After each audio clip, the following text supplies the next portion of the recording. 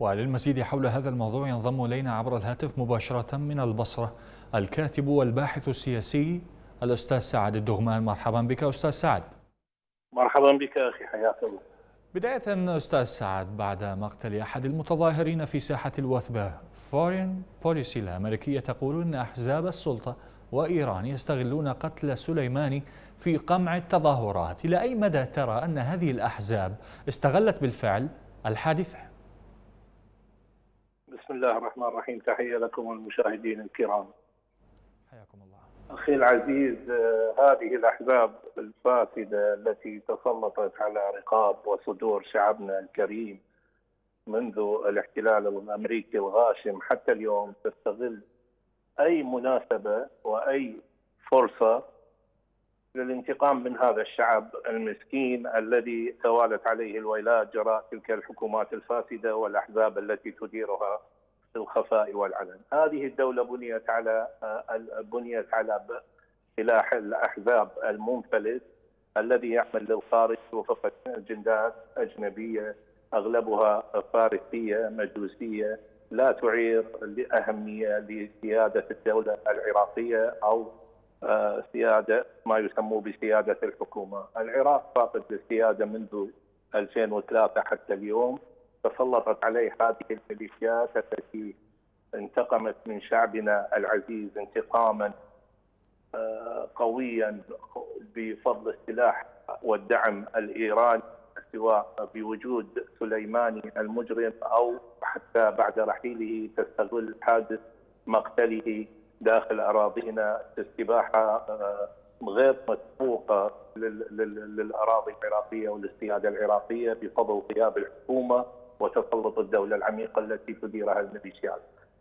هذه الميليشيات بفضل هذا السلاح المنفلت الذي وضعت له قانون اتفق عليه ما يسمى الحكومة والجهه والجانب الأمريكي في 2017 آه، آه، وفق قانون non-state active أي الأذرع الخارجة عن عن الحكومة الأذرع الفاعله المسلحة خارج الحكومة واتفق على تفكيكها وحصر السلاح بيد الدولة الا ان ليس هناك من حكومة لتنفذ، الجانب الأمريكي يغض النظر دائما عن تلك الانتهاكات التي يتعرض لها المدنيون من شعبنا.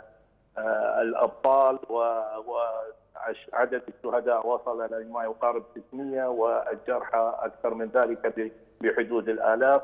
إلا أن الجانب الأمريكي المفروض وفق القانون الدولي هو المسؤول عن كل ما يجري بصفته قوة احتلال لا زالت لحد الآن.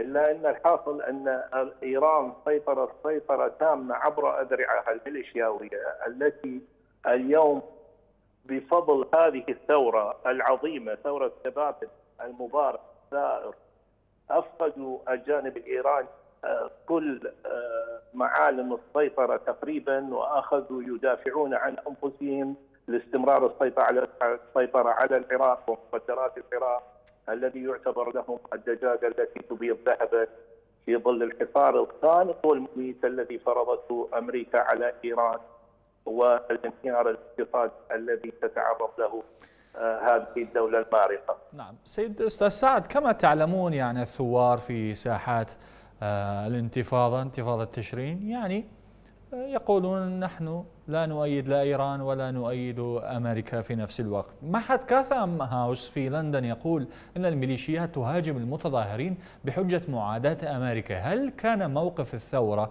من أول يوم داعما للموقف الأمريكي أم مدعوم منها؟ لا سيدي العزيز المتظاهرون هم شباب ثائر يبحث عن مستقبل آمن عن حياة آمنة. عن لقمة عيش رغيدة عن مستقبل زاهر كما الشعوب الأخرى في الدنيا تعيش. الفرد العراقي والشاب العراقي محرومون من هذه الامتيازات التي هي حقوق أصلا ينعم بها كل شعوب العالم إلا الشعب العراقي. هم ليسوا مدعومين لا من أمريكا ولا من طرف ثاني وإنما هم شباب وطني ثائر ينشد مستقبله ويبحث عن المستقبل الزاهر.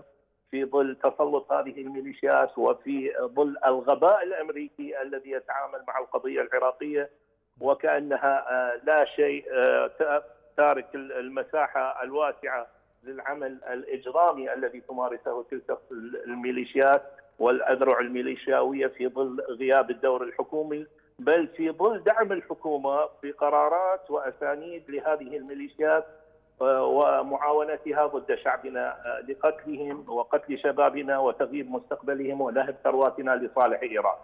إيران اليوم تعاني كما ذكرت لك من أزمة اقتصادية خانقة ليس لها مخرج سوى الاقتصاد العراقي وليس لها إلا موارد النفط العراقي تدير به ومن خلاله هذه الميليشيات المنفلتة المجرمة في العراق وفي اليمن وفي سوريا وفي آه، لبنان وفي كل آه، بلدان آه، بلداننا العربية الشقيقة التي تئن تحت وطأة هذا الاحتلال الفارسي البغيض. نعم. نعم كان معنا من البصرة على الهواء مباشرة الكاتب والباحث السياسي سعد دغمان شكرا لوجودك معنا.